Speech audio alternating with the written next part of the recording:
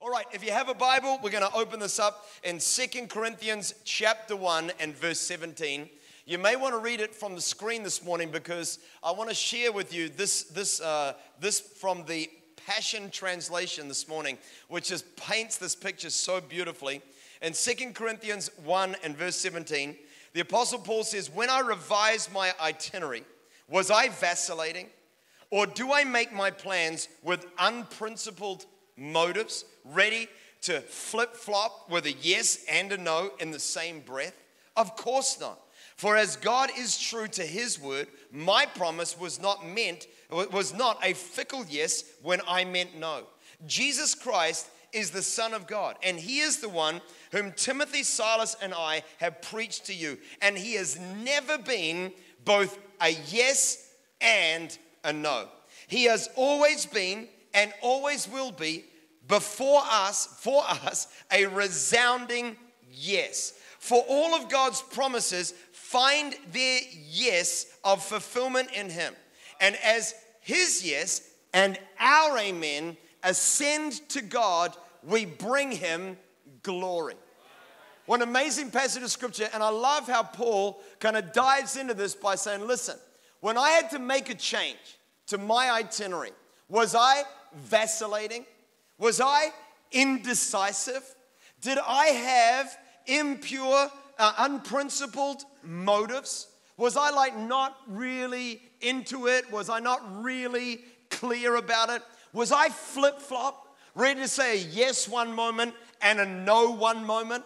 And then he goes on to explain for you and I why he would not be a vacillating person, why he wasn't with unpure motives, and why he was not a flip flop person in his yes and in his no. And his reason for us today is life changing. He says, The reason why I was not vacillating, the reason why I didn't flip flop, the reason why I'm not one moment yes and another moment no is because God is not like that. He goes on to say, when God says yes, God means yes. When God says no, God means no. And because God is decisive, because God decides, if I'm gonna be his follower, then I need to be a decisive person as well. You know, we were, we were celebrating last night a great affair. I'm in Christchurch this morning, and we were celebrating last night my mum and dad, their 50th wedding anniversary. Come on, no matter where you are, that's pretty impressive. 50 years.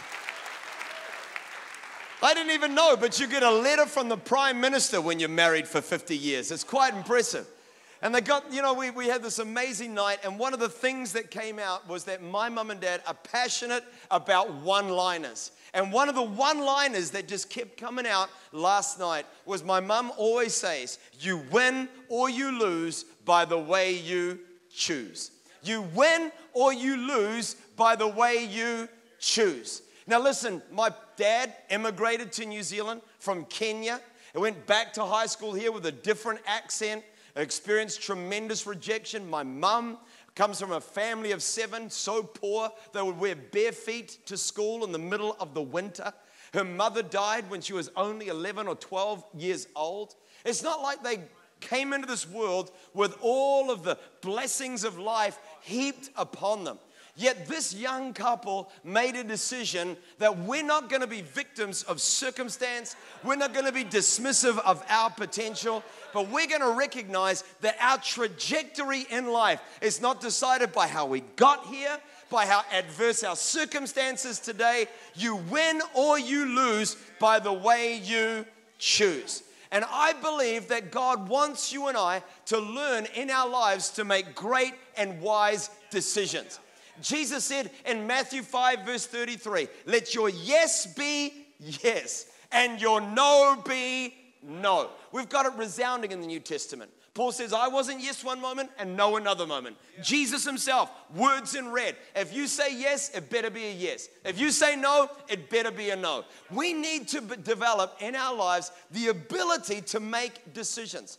It's going to define our lives. And the Bible talks a lot about decisions. Let me, let me give you some passages. In uh, 1 Kings 18, verse 21, Elijah said uh, to all the people, How long will you falter between two opinions? How long are you guys going to be yes and no?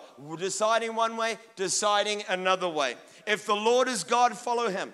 If Baal is God, follow him. But the people answered him not a word. In other words, even with all of that, they're still not willing to make a decision. Joshua chapter 24 and verse 15.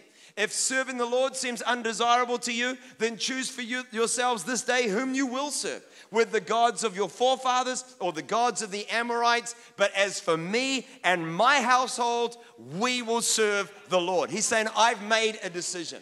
Revelation chapter 3, 15 and 16. I know all the things you do that you are neither hot nor cold. You're not decisive. I wish that you were one or the other. Make a decision. But because you are lukewarm, neither hot nor cold, I'm going to spit you out of your mouth. Anybody hate lukewarm coffee? Come on, give me a little amen out there. He's saying, because you're like a lukewarm long black, you're gone, buddy. You need to make a decision. Now, in our culture, we're having a lot of trouble making decisions. It is a societal and a cultural challenge. When we're looking at our society in the Western world today, we are discovering that increasingly people in our day and age are struggling to make decisions. Let me tell you why. Number one, the first reason why is because we have so many decisions to make. We have unprecedented ability to make decisions in our time than ever before. I'm not a person who naturally can tell when they're exhausted. I don't, I don't normally read that very well. Normally, my wife will tell me when I need to have a holiday. I normally just feel very motivated, ready to go. I'm normally ready for bed at about 10 o'clock, but I don't normally feel like I'm ever exhausted or in need of a break. And this is how I can tell when I'm really getting to the end of myself. And I reckon there might be a few people out there who can empathize. When I'm standing in front of my wardrobe, needing to get dressed for the day looking at a whole selection of clothes and I realize I've been there for three or four minutes. Can anybody, can anybody, nobody out there can, nobody can relate to my psychosis.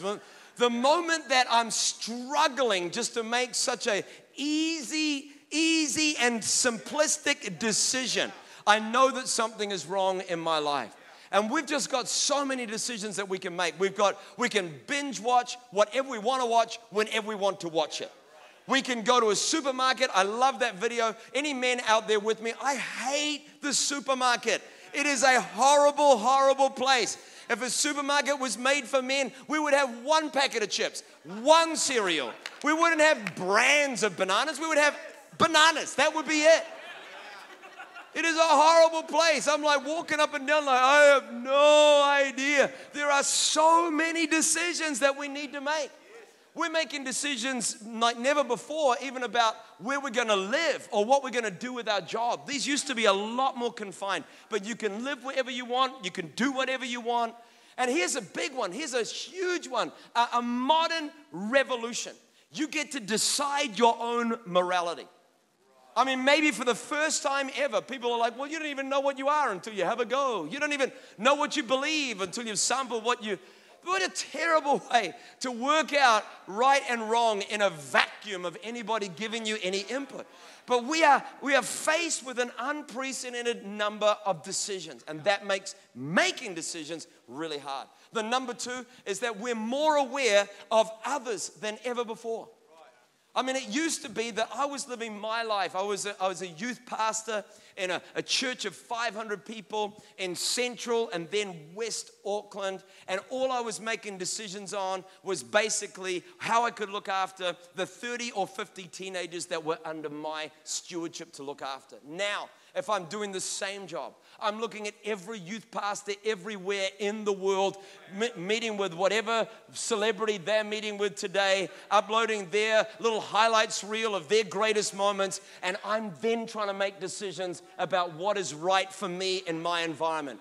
They call it the illusion of perfection because I can see what the life you're living, your edited, polished, luxed up, filtered, chosen version of the life you're living it makes it incredibly hard for me to be decisive about the life that is not luxed, perfect, photoshopped, edited, and highlighted that I'm living right now. So we don't want to commit to that relationship. We don't want to say we're all in for this environment. We don't want to make our bed in that city or town for the rest of our lives. Why? Because we're more aware than ever before the life that other people are living. And here's our third one.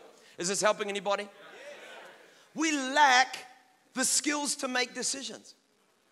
If there is a big statement that I think is going to end up being saying, this is just John, but I reckon one day they're going to write about millennial, millennialists, the millennialist generation that was uh, uh, fast becoming the dominant voice in the earth today. I think they're going to write the byline, the generation that raised themselves.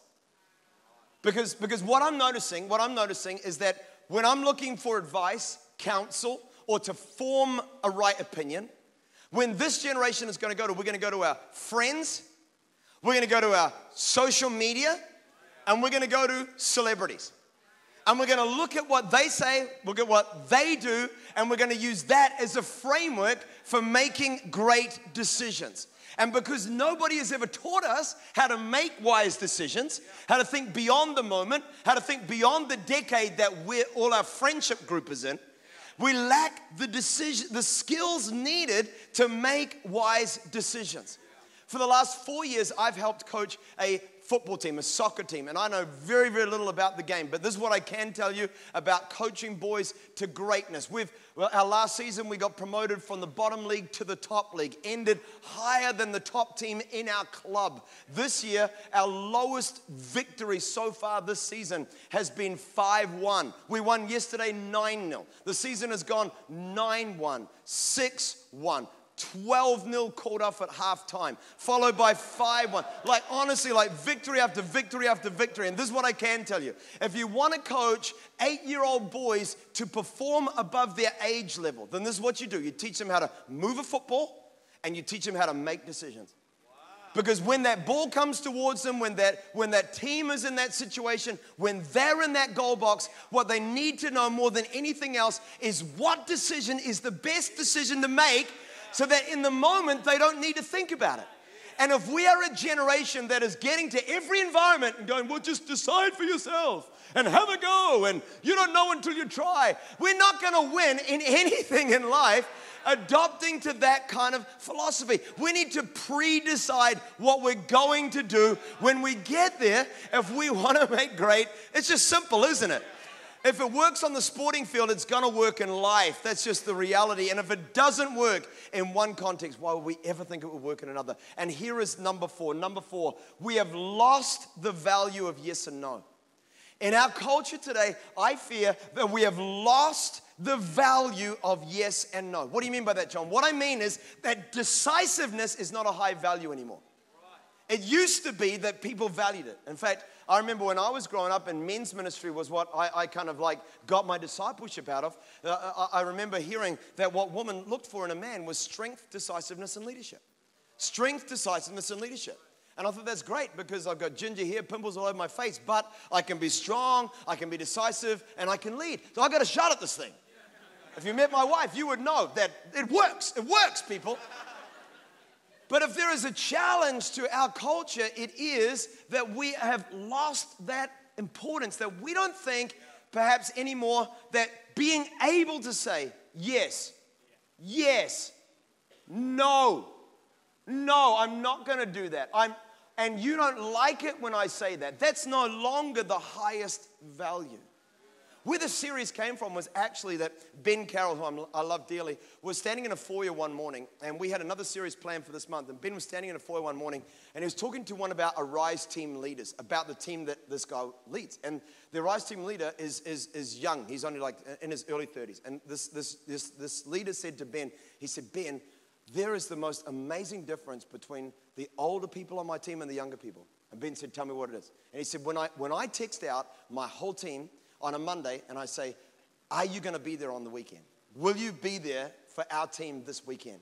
He said, Everybody over the age of 40 texts me back straight away and they say yes or they say no. But the younger people don't even text me back. And if they do text me back at all, it'll be on a Saturday and it'll still be at that point a yes or a no. Why is that? Why is that? The reason why is that in our culture, I'm not here to pick on young people, I'm here to define our culture. Our culture values more being agreeable than truthful. If we are witnessing a massive societal shift, it is that we would rather now lie or say nothing than offend you. And this is of great danger. And I'm going to spend the rest of this message kind of helping you to understand why. Because if there is something that we need back in our hands, if we're going to change the course of our lives, and if we're going to fulfill the purpose that God has for us, we need to develop again, as believers, the ability to say, I am saying yes. And I am saying no.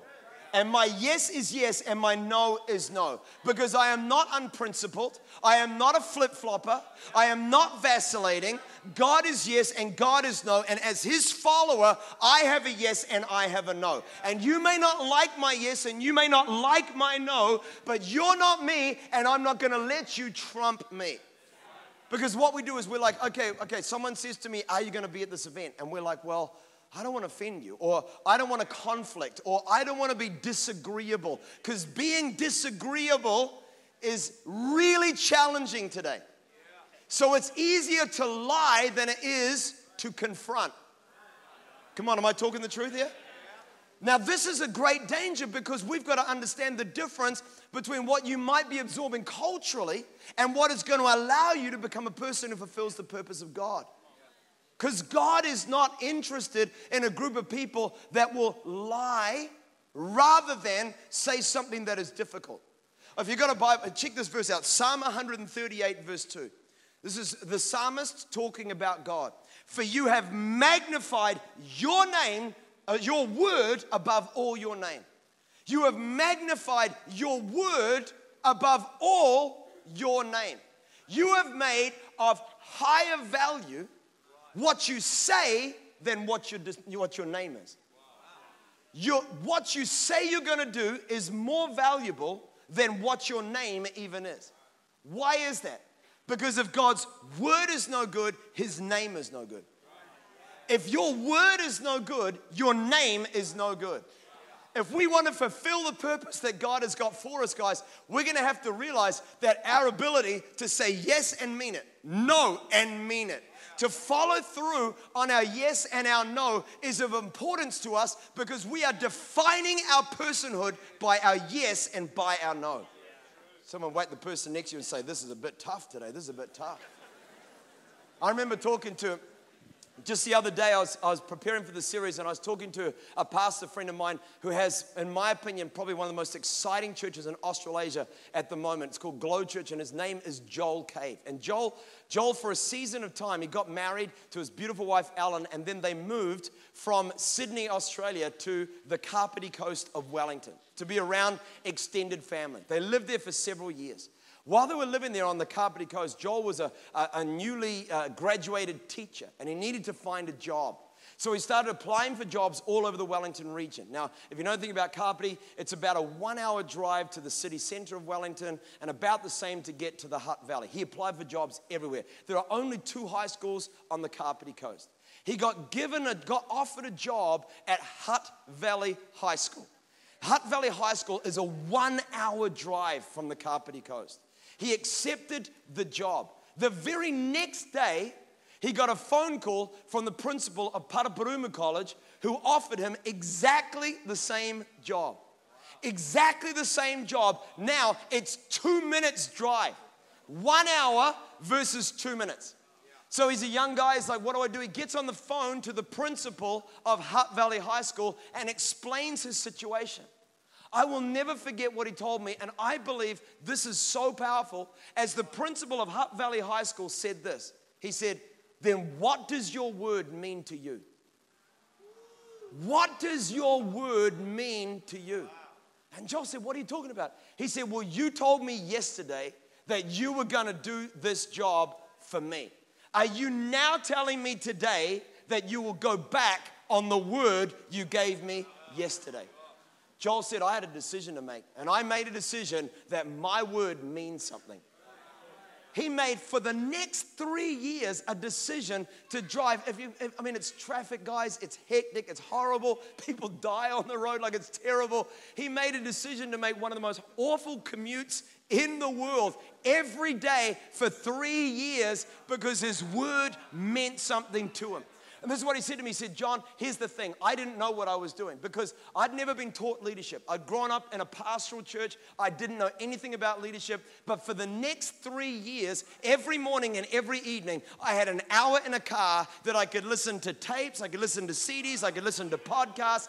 And I learned everything I know about leadership in a one hour drive in and a one hour drive back. I'm here to tell you, friends, that your word might not always be easy to commit to. That saying yes and sticking with it, saying no and sticking with it. It's not comfortable, it's not easy, it's not always convenient, but I believe with all my heart that it is the key to discovering who we are in Christ, pulling the truth of our potential out of us, and it is important for you and for me. If you believe it, say amen. amen yes and no.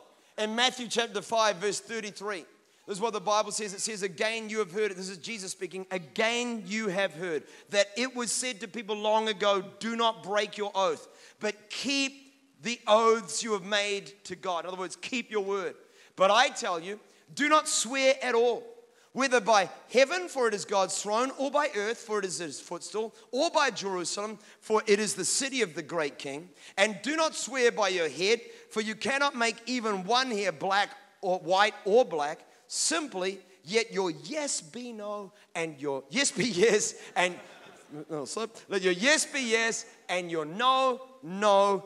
Anything beyond this comes from the evil one. Now, let me tell you what Jesus is saying because it's going to blow your mind. Jesus is literally saying, if you are going to give your word, then especially if you make that word to God, you better keep it. You better keep your word that you make to God. That's very, very important. But let me take it to you more personally. If you're going to give your word to somebody else, then don't you leverage something higher than you to commit to it. He's saying, if you, if you want to make a commitment that you're going to be there, don't say, I swear by Jerusalem that I'm going to be there. Don't swear by the king that you're going to be there. Don't, don't give something else as a greater reason that what you're saying you're going to follow through on than just the fact that you've said yes.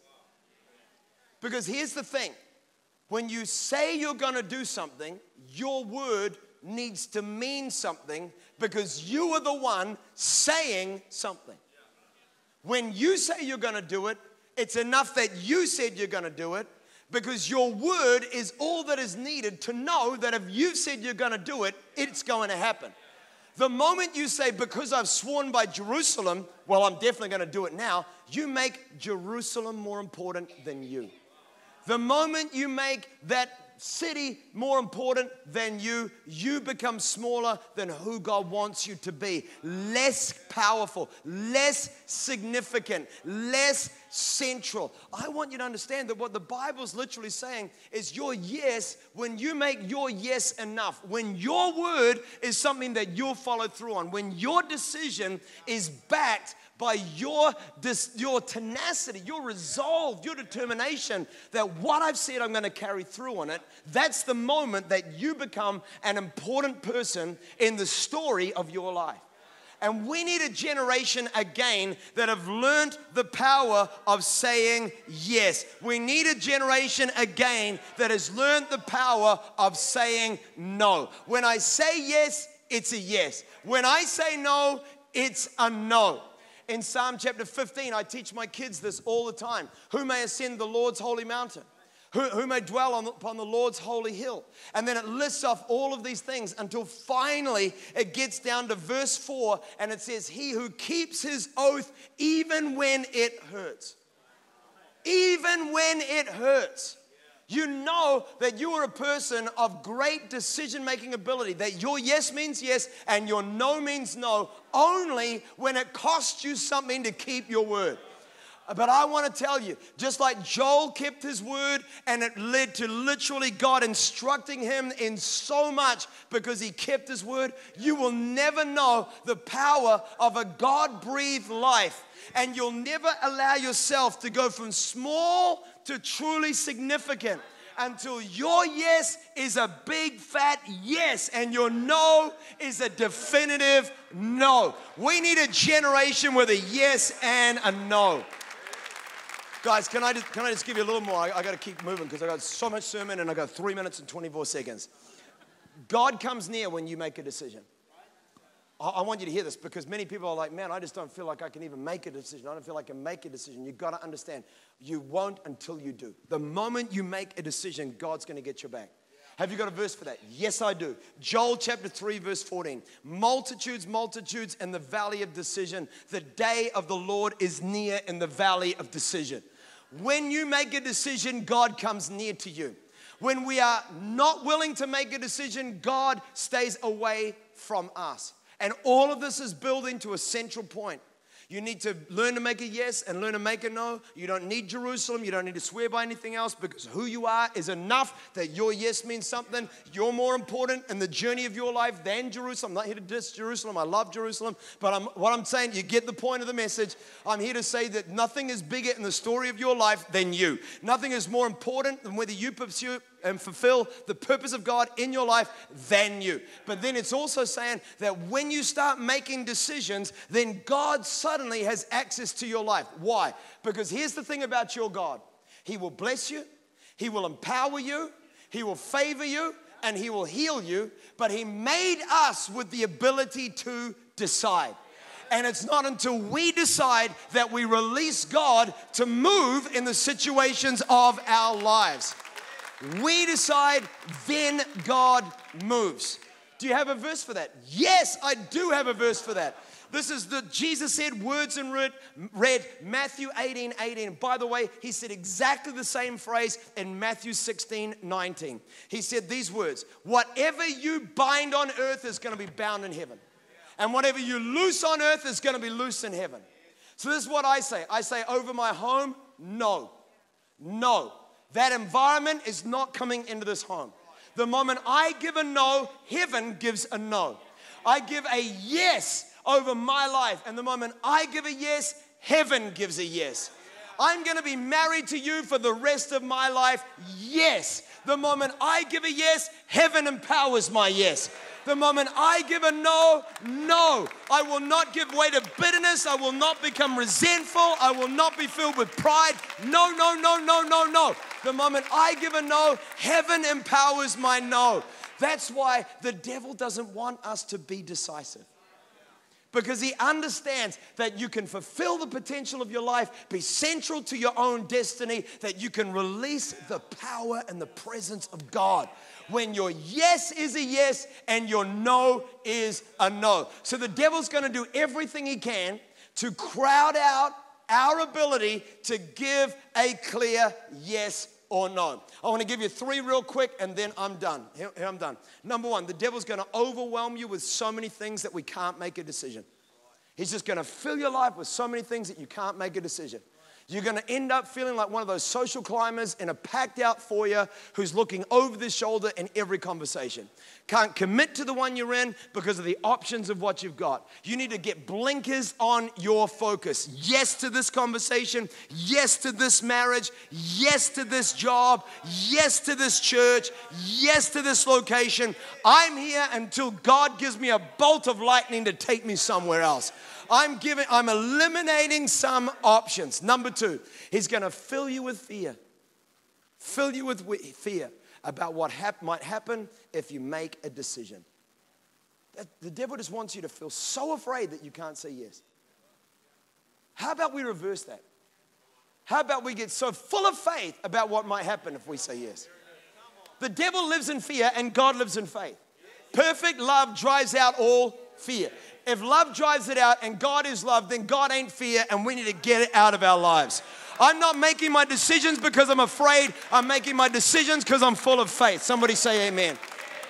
And number three, it's, he's going to minimize the impact of a bad decision. That's what the devil's going to do. When, we're going to, when, when, if we had time to talk about that, we'd talk about Esau. But guys, I just want you to know that we need to get the ability to make some decisions. As the band in every location join me, let me give you the key. This is my only takeaway. Then come back next week to find out how. Here is my takeaway make a big yes that makes for a lot of easy no's. Make a big yes that leads to a lot of easy no's. Let me tell you the most smart decision that any person can ever make. Say yes to Jesus. Say yes to Jesus wholeheartedly, with, with abandon, with complete dedication. Say yes to Jesus. Yes, Jesus, I love you. Yes, Jesus, I will follow you. Yes, Jesus, I will obey you. I will live my life for you. That means it's going to be easy for me. Now I'm saying no to sin and no to compromise and no to lying and no to stealing and no to lust and no to comparison and no to greed because I got a big yes that empowered a lot of easy no's. If we want to live our life different, then let's make a decision that we're saying yes to Jesus Christ, yes to your word, and yes to your principles, and yes to your truth. If we say a big yes to Jesus, it allows us to say a lot of easy no's.